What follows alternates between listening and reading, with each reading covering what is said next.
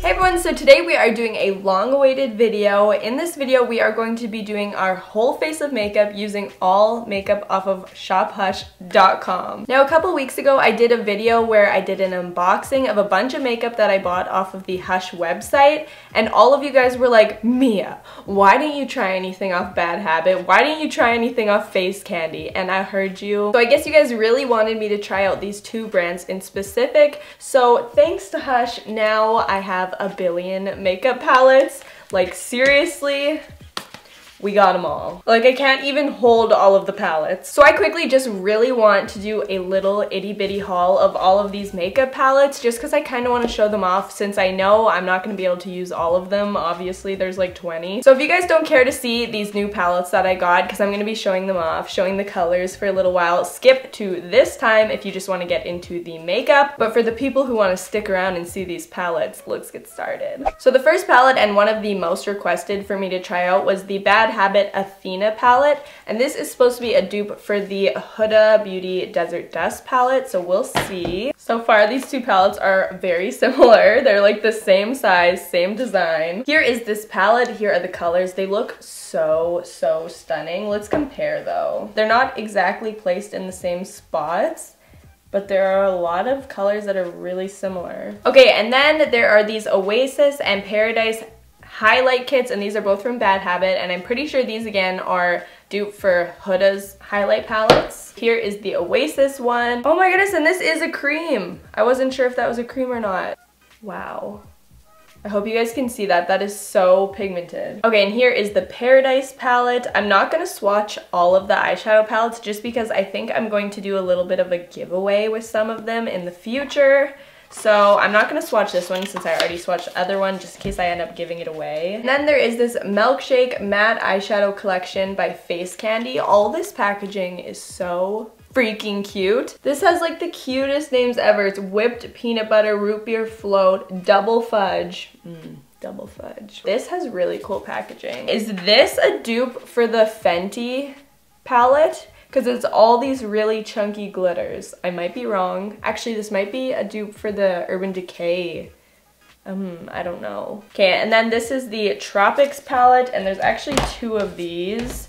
One is Tropics and one is Rainforest. So let's open these. Okay, here is Tropics. Oh my goodness, those are nice shades. They're all really pretty pinky tones. Here is Rainforest. Oh my word, look at this color. I have to swatch this one. It matches my nails.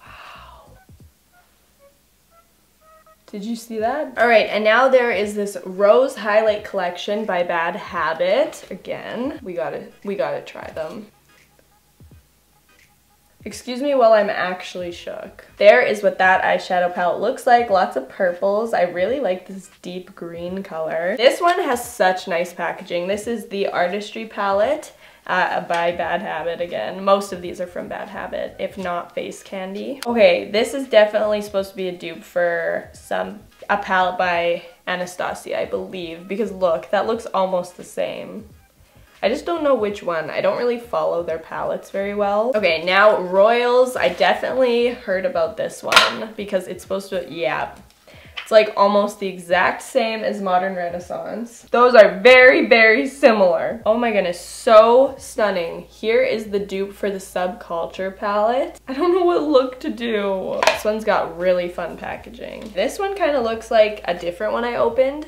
So I'm gonna put this one aside. It'll probably be in a giveaway. This is called Sugar by Face Candy. Adorable packaging, like A+. plus. It's like tin, and here is the layout. Oh my gosh, so pretty. They just feel so soft. What is the deal? There we go. Okay, we're on to the fifth last, so we're reaching the end. Then we'll start our makeup. I'm really overwhelmed with what to do with our makeup, but okay. Oh my goodness, it's velvet. Oh my gosh, the palette.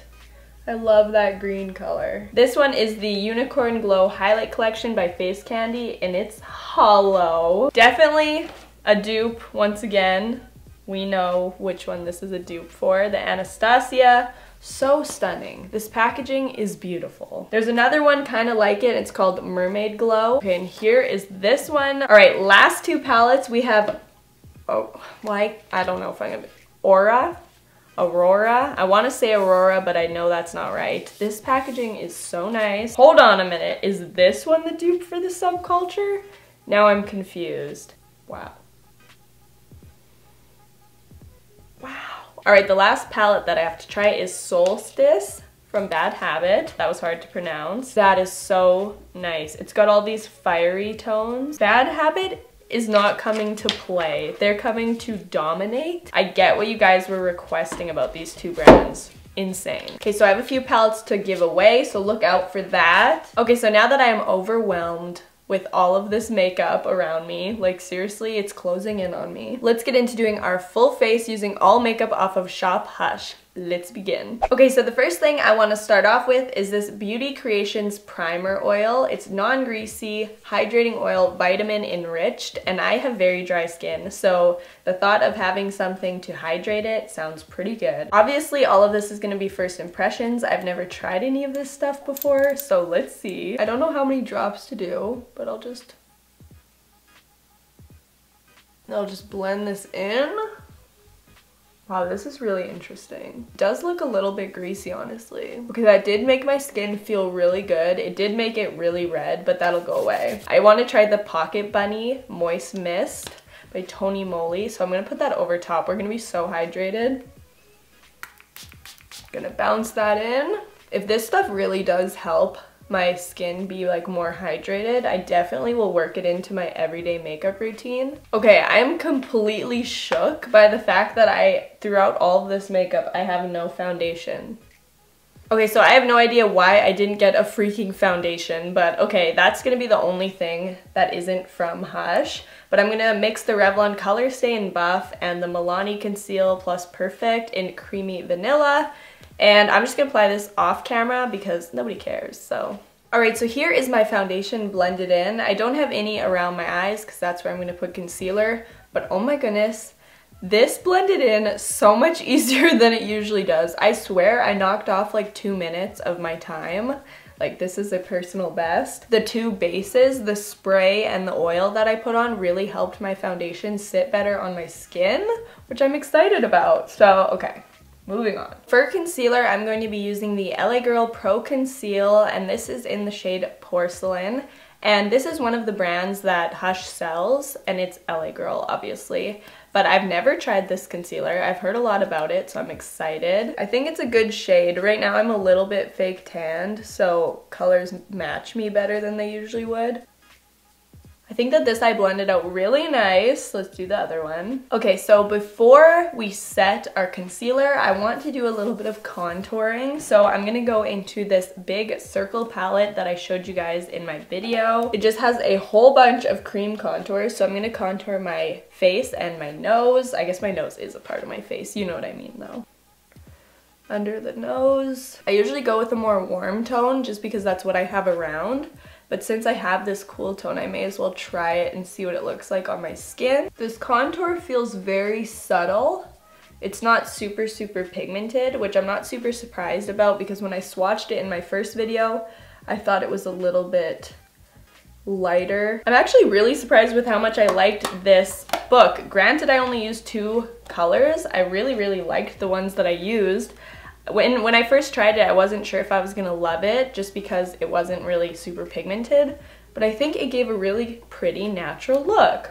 Good job, little book. All right, so now moving on to setting powder. So I have two little setting powders. You guys let me know that this actually was a dupe. I can't now remember off the top of my head for what. I think it was something high-end like Gucci or something like that. Yeah, but and then I have this other pure white one. So I think I'm to put the pure white one under my eyes and then these more skin toned ones to sculpt out. To tap a little bit into the lid. Oh wow, it's really fine. Alright, so in the camera, like when I look into the viewfinder, it looks like I have a lot more powder on than what it looks like in real life. So it might already be flashing back with my ring light. But okay, let's try this Luxe Color Correcting Powder Matte Finish. I'm gonna sculpt out the contour. A lot of the oiliness I had on my forehead, it looks like it's soaked up, which is nice. But I'm just gonna let that bake on my face while I do my brows. So what do we have for brow products? For brows, I have this super slim brow stick, brow perfecting pencil, and this is cruelty free. I'm a little bit new to using pencils on my eyebrows. I usually would use like a little mousse, but I'm starting to get into pencils, so we'll see how this works kind of difficult when your pencil's not super pointed. Okay, so here are my eyebrows on. I really like the way they turned out. If this brow pencil was decently inexpensive, I think it's worth trying out. It was pretty good and it's cruelty free. I mean, what else is there to say about it? I like it, and I think the color looks good. Usually I would go a little bit lighter, but I like the way it looks. I don't mind a bold brow. Okay, we've been baking long enough. Let's take this off and do a flash test.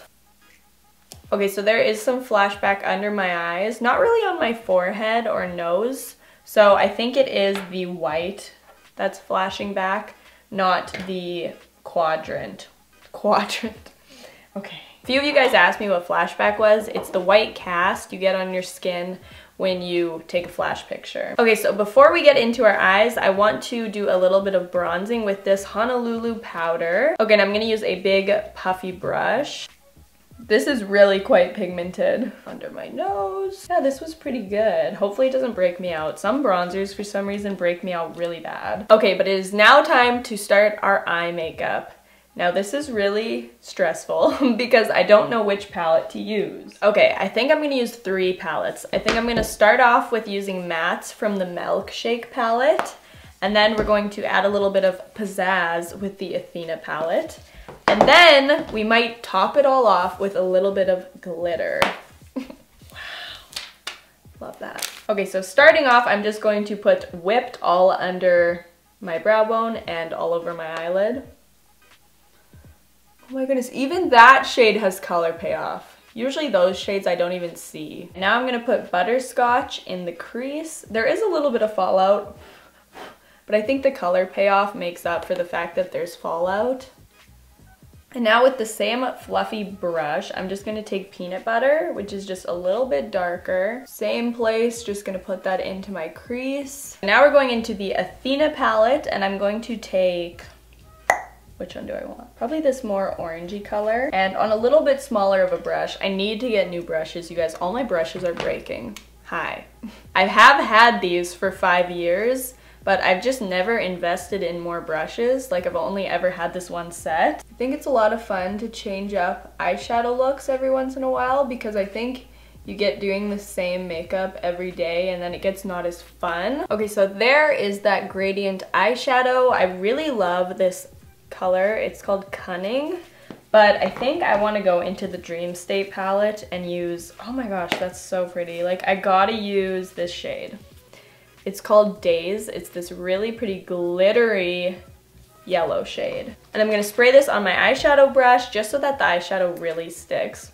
What was that?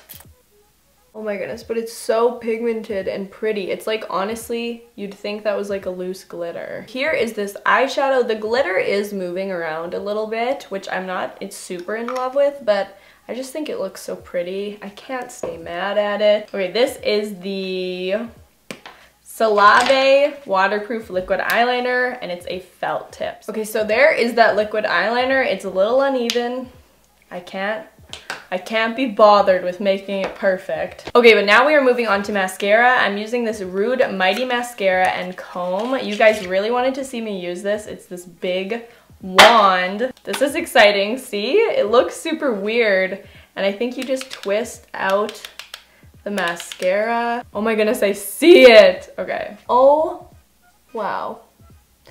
This is very odd. It's very chunky. Okay, this one's not gooping as much, but it's not really doing much for my lashes, and it's just really hard to put on. I think maybe I could eventually get used to this, but I just don't want to jeopardize this look because of a mascara. So I'm gonna try this extra volume mascara. It's still kind of weird. It's in a tube.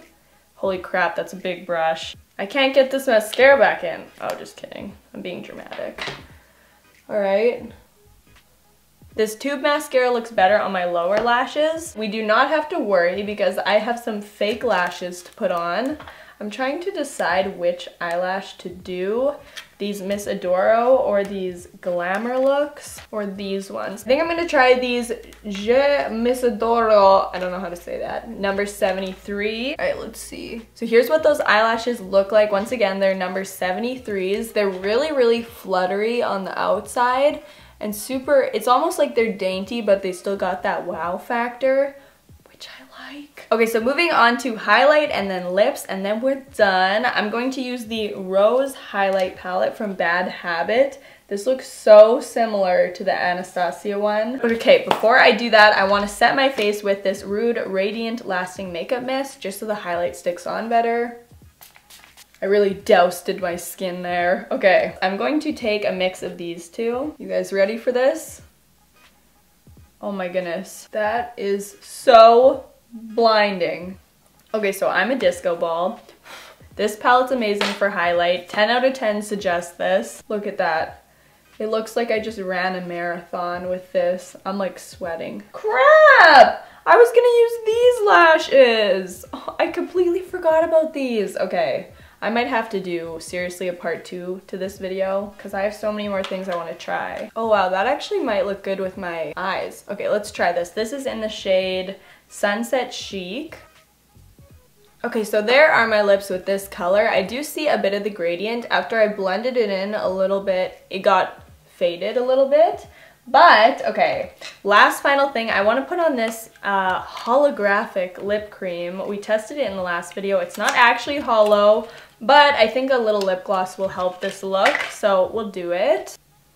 There we go. That's what that looks like with this lip gloss. Okay, you guys, so here is the full makeup look using all makeup off of shophush.com. I really hope you guys enjoyed this video because I know you guys have been requesting this and I know some of you have been really excited to see it. So I hope it lived up to your expectations. If you guys want to see a part two of this video, comment down below what you would like to see me use because I'm totally open to doing that. In fact, I really want to do that. I think this makeup look turned out really pretty. I like the sunset looking eyes and this kind of gradient lip. I actually, like I never usually wear lip colors like this, but I think it looks pretty. This blinding highlight, I am living for it. Oh, and if you guys are interested in winning any of these makeup palettes, make sure to follow my Instagram because I'll be doing little giveaways on there. So yeah, I hope you guys enjoyed this video. If you did, give it a thumbs up and don't forget to click the subscribe button and I will see you guys in my next video. Bye! We'll